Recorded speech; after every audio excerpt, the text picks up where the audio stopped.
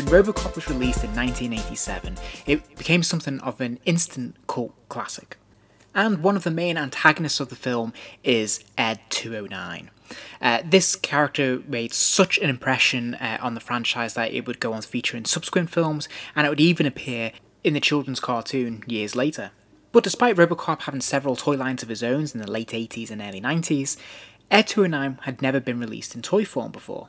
That was, of course, until a few years ago when NECA or NECA uh, took on the license of Robocop and produced this deluxe figure of Ed 209. Ed comes in quite a massive uh, box here, uh, very nicely produced, uh, lovely uh, photography work done on the back there with, with Robocop, uh, and the artwork on the front of the box as well is really nicely done.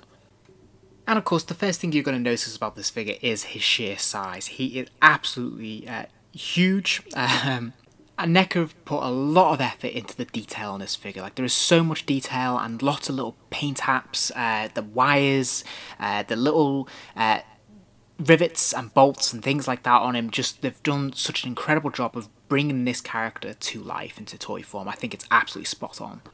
NECA have done just a fantastic job of capturing all the little nuance and all the tiny little details uh, and just again just painting them in a way that you know makes them look authentic screen accurate and you know has that you know realistic wear and tear to them. I just think it looks fantastic. Um, now, amazingly, the legs actually extend. So as if he wasn't big enough, he actually does grow uh, significantly higher, um, which you know really, really, puts him over the top. Um, so yeah, this this is absolutely fantastic, and I did not expect this at all. On top of that, the figure actually does have articulation as well, so the legs do kick outward, forwards and backwards, uh, which is great. Um, again, just a little note on the uh, the attention to detail here, the little paint apps and things. I just think you know all those little nuts and bolts look fantastic. Pleasingly, the sort of the shoulder pads also flip up, uh, which is really cool. Um, meaning that of course the the arms can swivel up and down uh, with no hindrance there whatsoever, which is absolutely fantastic. And really pleasingly is that the gun arms actually swivel as well. Well, that's amazing. Um, I really love this.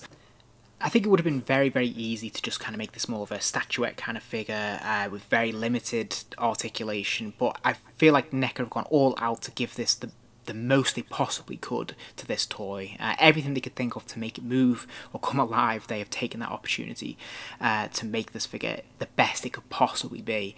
Uh, and it really, really shows. Um, of course, he does have should we say, uh, waist articulation there as well, so he can swivel around from side to side. Um, and yeah, you just get a sense of just you know how good this figure really looks.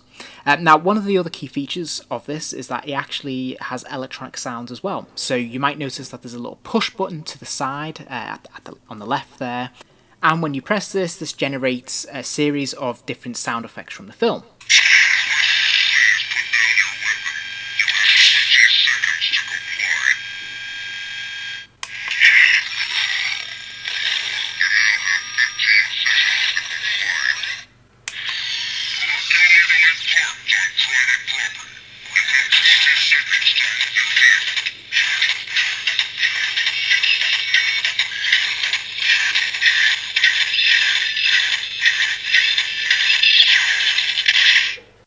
And here we can see how he measures up against the NECA Robocop figure that was released uh, in this wave.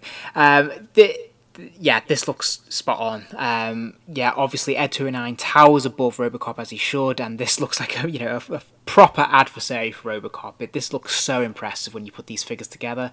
Um, it's very hard to think really how you could expand a Robocop line um, in terms of action figures, but I think they've done a tremendous job by giving him Ed 209. Uh, this is really all you need to sum up Robocop, and they look so good, so good together. They've done such a fantastic job.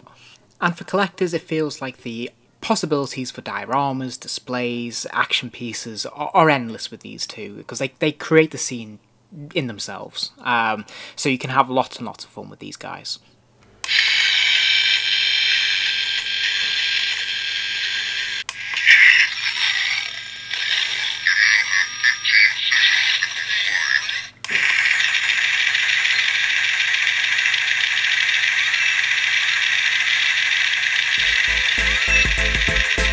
Hope you enjoyed the vid. If you did, please do give it a like. Uh, and remember to subscribe as I'll be posting more videos soon.